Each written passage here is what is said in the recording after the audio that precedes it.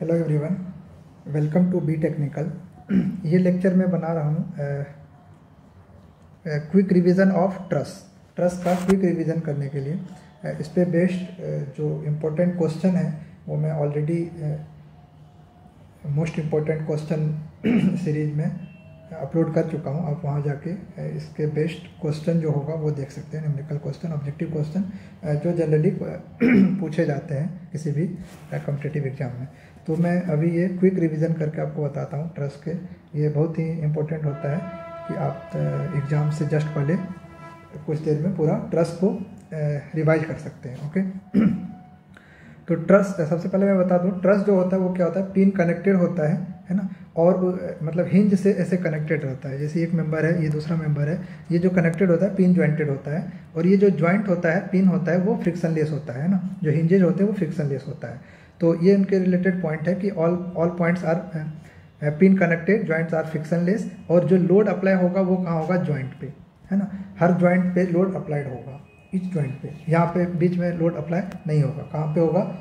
Member के member पे apply नहीं होता ज्वाइंट पे अप्लाई होता है लोड ओके सेल्फ वेट इसका नेगलेक्ट करके चलते हैं। जितने भी ट्रस्ट के मेंबर का सेल्फ सेल्फ वेट होगा, उसको हम नेगलेक्ट करके चलते हैं। मेंबर्स आर स्ट्रेट स्ट्रेट रहना चाहिए बिफोर लोडिंग लोडिंग से पहले and each member has only axial force और हर हर मेंबर में क्या होता है? सिर्फ़ एक्सेल फोर्स कैरी करता है बेंडिंग मोमेंट नहीं होता है। सस्पेंशन केबल और ट्रस ये दो ऐसे स्ट्रक्चर हैं जिसमें बेंडिंग मोमेंट ज़ीरो होता है हर पॉइंट पे, है ना? कहीं पे भी आप बेंडिंग मोमेंट निकाले तो क्या होता है? Zero it doesn't carry any bending moment तो ओनली एक्सेल फोर्स इसमें होता है ट्रस्ट ट्रस्ट में, हर मेंबर में एक्सेल फोर्स होता है। अगर मैं ट्रस्ट को स्ट्रक्चर को डिवाइड करूँ तो क्या होगा? ट्रस में भी टू और थ्री तो टू ट्रस होगा मतलब एक्स और वाई प्लेन में होगा। टू डी मतलब एक्स और वाई प्लेन में होगा, है ना? और थ्री डी मतलब एक्स वाई और जेड तीनों प्लेन में होगा। तो टू डी को बोलेंगे प्लेन ट्रस थ्री डी को बोलेंगे स्पेस ट्रस ये प्लेन ट्रस भी डिटर्मिनेट हो सकता है इनडिटर्मिनेट हो सकता है स्पेस ट्रस भी डिटर्मिनेट हो सकता है इनडिटर्मिनेट हो सकता है। तो डिटर्मिनेट होने के लिए हमारा कंडीशन क्या है कि degree of static determinacy should be greater than should be equal to zero D S is equal to zero होना चाहिए तो हम उसे फाइंड आउट कर लेते हैं। मतलब इक्विलिब्रियम कंडीशन से जो भी चीज़ें हम फाइंड आउट कर लेते हैं, उसको बोलते हैं डिटर्मिनेट ठीक है? Determinate means degree of static determinance is equal to zero और अगर वो ग्रेटर देन ज़ीरो है तो इनडिटर्मिनेट है।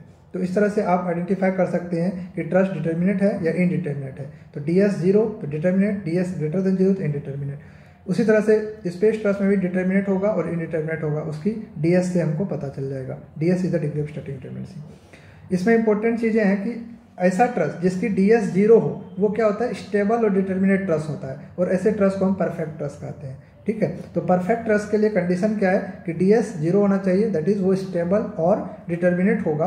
तो triangle shape trust is called as perfect trust अगर आप इस तरह से ट्रस्ट देखने को मिलेगा आपको, है ना? इसको रोलर कर दिया इसको हिंज दिया। तो triangle shape truss is a determinate क्या? परफेक्ट ट्रस्ट तो ये बहुत बार क्वेश्चन आ चुका है परफेक्ट ट्रस्ट क्या होता है? तो triangle shape trust is a perfect trust अगर D S less than zero होता है तो हम बोलते हैं डेफिशिएंट ट्रस्ट मतलब कोई ना कोई मेंबर कम होता है उसमें, इसलिए D S less than zero है। और लेस देन ज़ीरो का मतलब क्या है? वो अनस्टेबल होगा। ठीक है? डिटर्मिनेट तो होगा, लेकिन अनस्टेबल होगा। वो क्या होगा? अनस्टेबल होगा डिटर्मिनेट तो होगा।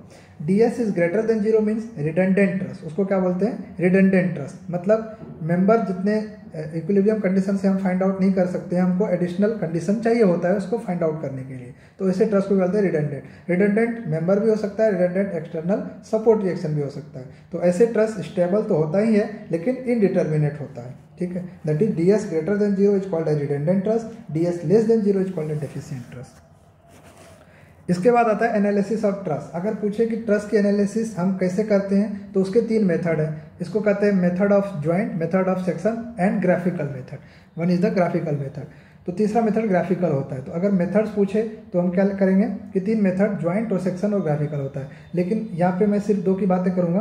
ग्राफिकल जनरली यूज़ नहीं होता है। तो मेथड ऑफ़ ज्वाइंट और method of section method of joint के लिए कंडीशन क्या है कि सपोज़ ये एक ट्रस है है ना? तो यहाँ पे हिंज है, यहाँ पे रोलर ये ट्रस है, यहाँ पे कोई फोर्स पी है पी कैरी कर रहा है।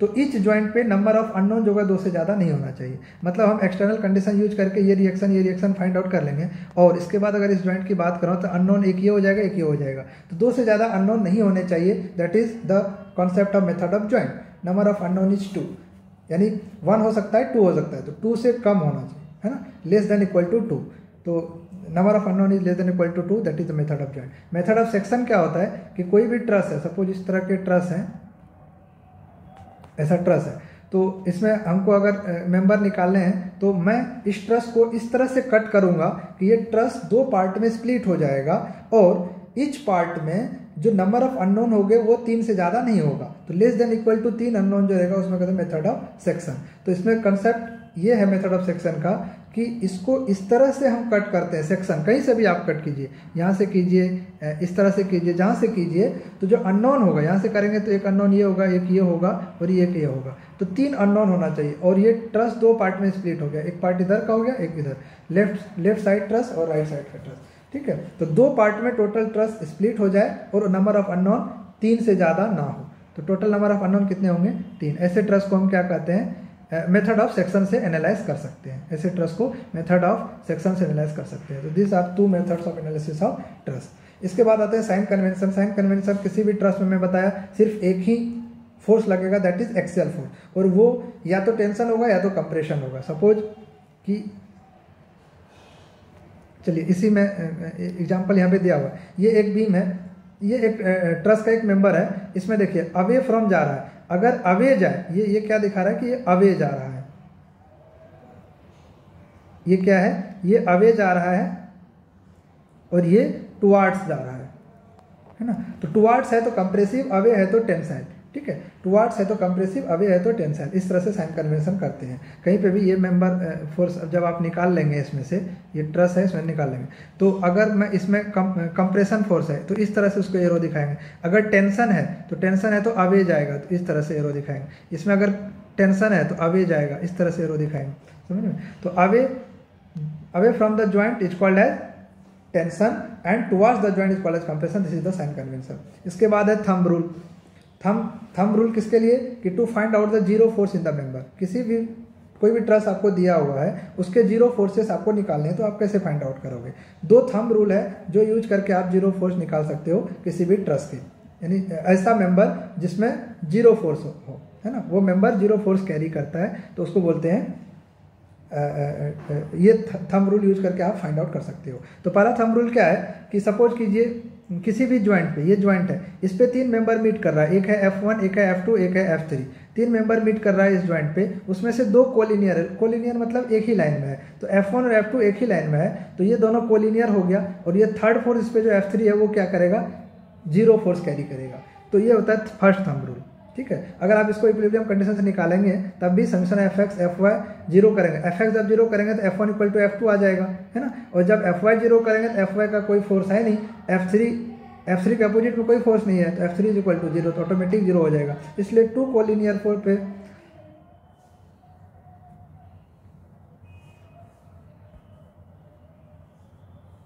है।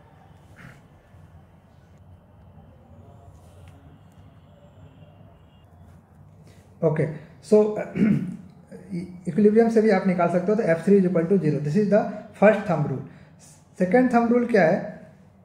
कि if at a joint only two members meet which are non मतलब ये एक कोई ज्वाइंट है, उस पर दो मेंबर मीट कर रहा है एफ़ वन और एफ़ टू और तीसरा कोई ना फोर्स है, ना रिएक्शन है. अगर तीसरा कुछ भी नहीं है, और ये दोनों मेंबर नॉन कोलिनियर है, देखिए एफ़ वन एफ़ टू ये कोलिनियर नहीं है अलग अलग है. नॉन कोलिनियर है तो ऐसे नॉन कोलिनियर है तो ये दोनों फोर्स क्या कैरी करेगा? ज़ीरो फोर्स करेगा। एफ़ वन भी ज़ीरो हो जाएगा एफ़ टू भी ज़ीरो हो जाएगा। तो ये दो थंब रूल है जिससे आप ज़ीरो फोर्स फाइंड आउट कर सकते हैं। इसको मैं एक एग्ज़ाम्पल के से समझ, समझना चाहूँगा।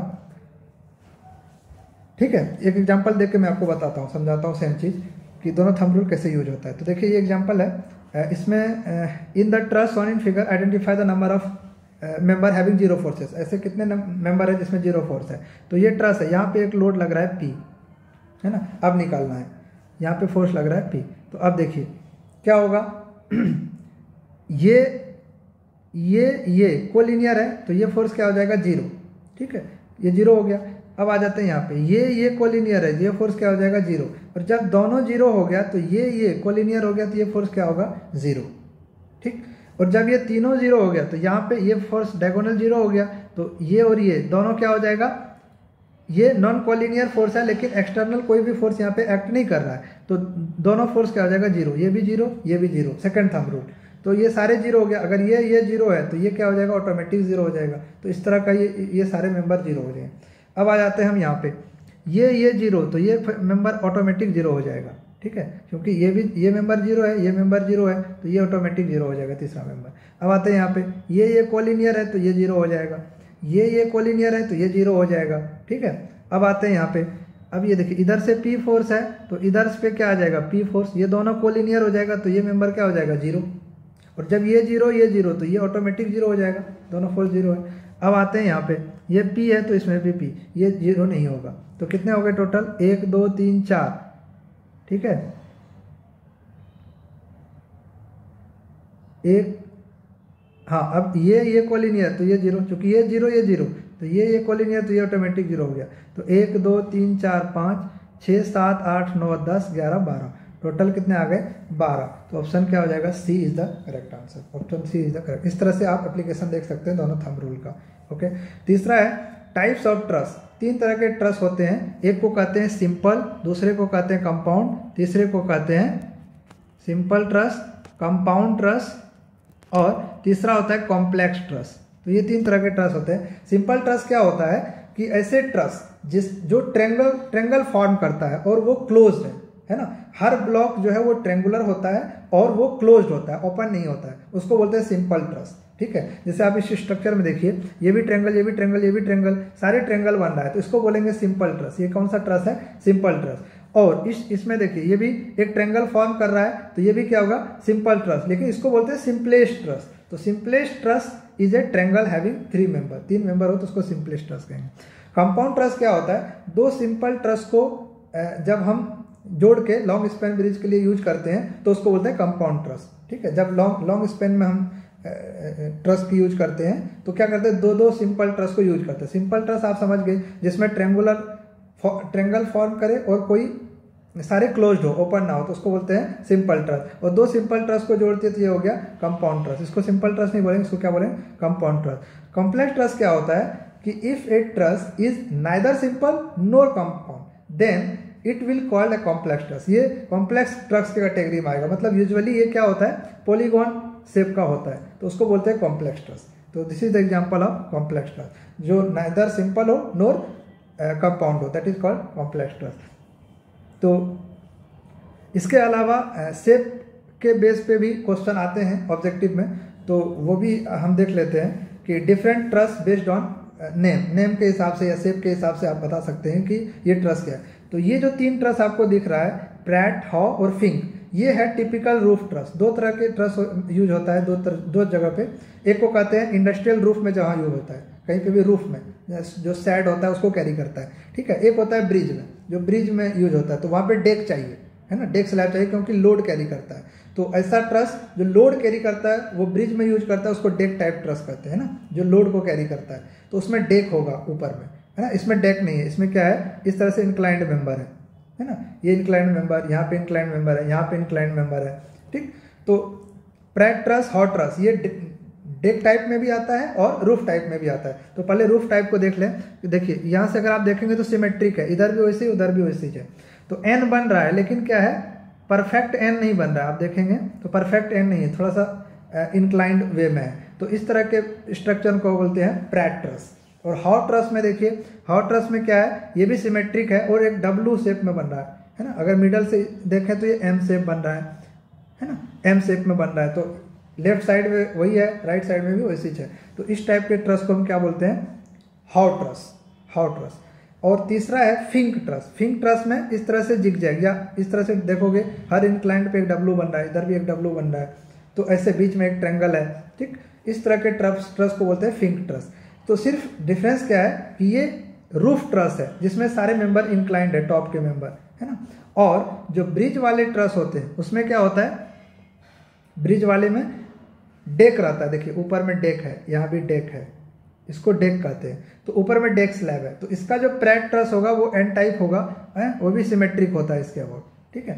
तो ये प्रेट ट्रस है। परफेक्ट एन टाइप का सेप बनेगा आपको। तो आप देख सकते हैं इसमें से ये प्रेट ट्रस है, ये हाउ ट्रस है, इसके भी ऊपर डेक है है ना? लेकिन ये किसके लिए है? ब्रिज के लिए है। ना?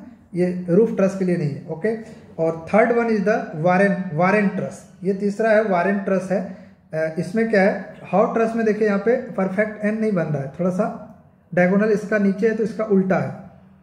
या या डब्लू शेप में बोल सकते हैं इसको। ये डब्लू शेप में ऐसे बनता है। तो इसको बोलते हैं हॉक ट्रस इसमें देखिए, इसमें भी तो डब्लू बन रहा है, लेकिन एक जिगजैग वे में बन रहा है। है ना? तो इसको भी आप बोल सकते हैं, ये क्या है? वारेंट ट्रस तो ये तीनों ट्रस आप देख लीजिए। This is use in bridge structure and ऊपर का जो मैंने बताया this this is use in roof truss तो this all from the truss and truss analysis okay इसके रिलेटेड जितने भी क्वेश्चन हैं, उसके ऑलरेडी वीडियोज़ मैं अपलोड कर चुका हूँ, आप वहाँ जाके देख सकते हैं। इसके डिस्क्रिप्शन लिस्ट में भी मैं दे दूँगा उसका लिंक तो आप वहाँ से देख सकते हैं। Okay bye bye thank you take care